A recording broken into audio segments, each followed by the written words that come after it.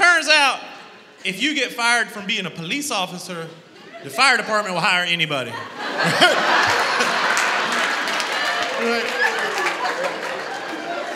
that is anybody that's crazy enough to run into a burning building that other people are running out of.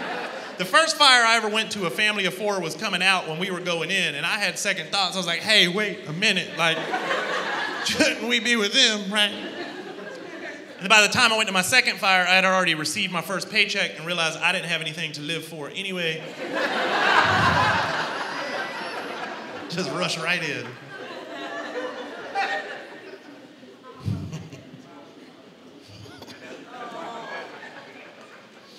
You, people always ask me this too, man. They, they want to compare the two careers, right? They're like, Travis, what's what's a better job, being a cop or being a fireman? And I'll tell them, hands down, being a fireman is the best job because people love firemen, right?